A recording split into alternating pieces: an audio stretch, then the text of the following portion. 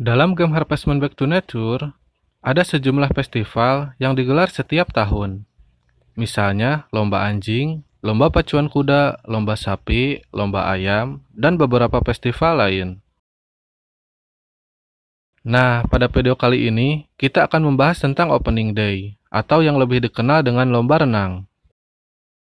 Lomba renang ini merupakan suatu festival yang digelar pada hari pertama di musim summer antara pukul 10 pagi hingga jam 3 sore di pantai mineral. Jika berhasil memenangkan lomba renang untuk yang pertama kalinya, maka kamu akan mendapatkan power berry sebagai hadiahnya. Kalian pasti sudah tahu kan kalau power berry itu bisa meningkatkan stamina karaktermu, jadi semakin banyak power berry yang terkumpul, semakin besar stamina karaktermu, jadi lebih bisa tahan lama untuk bekerja. Dan jika kamu menang dalam lomba renang untuk yang selanjutnya, kamu akan mendapatkan kayu sebanyak 500 potong. Selama festival renang, karaktermu akan bersaing dengan pria penduduk desa. Meskipun hampir semua pria berpartisipasi, namun sebenarnya satu-satunya lawanmu adalah Kai. Sebelum kalian melakukan lomba renang, ada baiknya kalian untuk melakukan save game terlebih dahulu. Bisa dengan save game sehari sebelum festival, atau bagi kalian yang bermain di emulator EPSE Android, kalian bisa melakukan save state. Tujuannya, jika nanti kalian kalah, kalian bisa mengulang lagi perlombaannya dengan cara load game atau load state. Ada hal yang wajib kalian pahami dulu sebelum memulai perlombaan, yaitu indikator napas atau stamina kalian ketika berenang.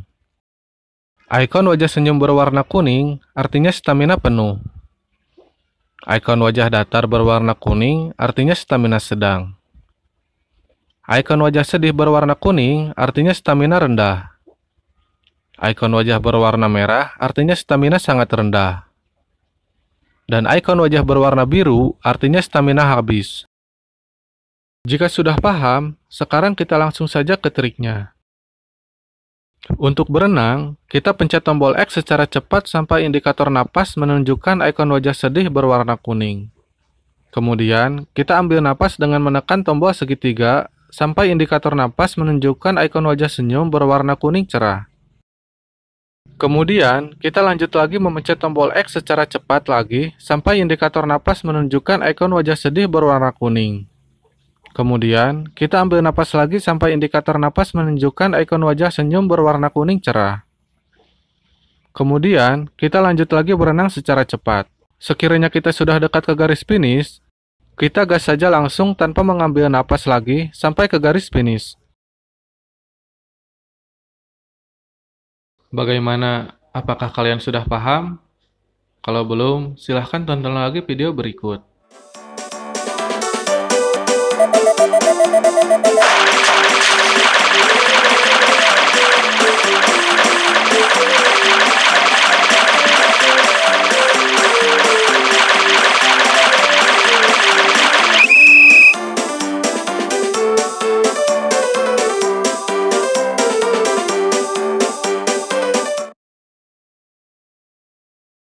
Nah, itulah trik yang saya pakai untuk memenangkan perlombaan berenang. Intinya, untuk memenangkan perlombaan berenang ini tergantung bagaimana pandai-pandai kita untuk mengatur kapan kita berenang dan kapan kita ambil napas. Nah, kalau kalian memenangkan perlombaan berenang ini dengan cara bagaimana? Apakah sama dengan trik yang saya pakai atau memakai trik lain? Silahkan kalian tulis pada kolom komentar. Thank